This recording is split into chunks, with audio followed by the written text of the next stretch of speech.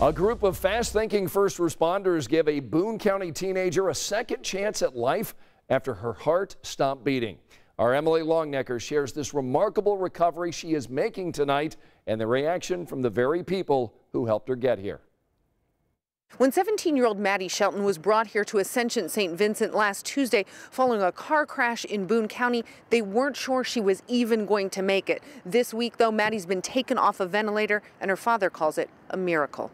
She should not be here today. But J.R. Shelton's daughter Maddie is here, sitting up in a hospital bed, eating jello.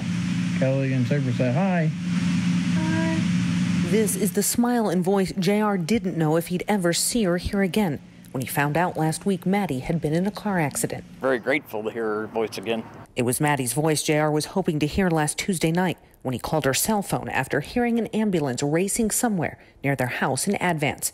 At the time, Maddie was expected home at any minute. I could tell something was wrong. This father's worst fears confirmed when a police officer answered his daughter's phone. He said, you know, you need to get down here. It's, it's, she's been in a bad accident.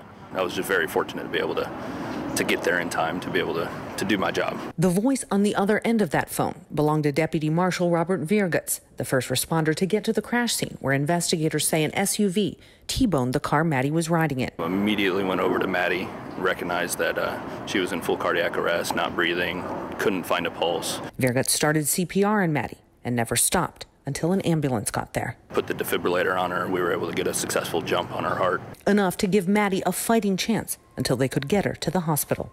They were still working on her in the ambulance when I showed up. Without those two steps, she likely wouldn't have made it to the hospital. Once at Ascension St. Vincent, an entire trauma team worked to try and save Maddie's life. Both lungs were collapsed, and so there was still a lot of work that needed to be done. A week later, though, she's really made a, a remarkable recovery. I think it was really a series of, of miracles. That's what J.R. Shelton sees when he looks at his daughter, now awake and talking. Very much a miracle.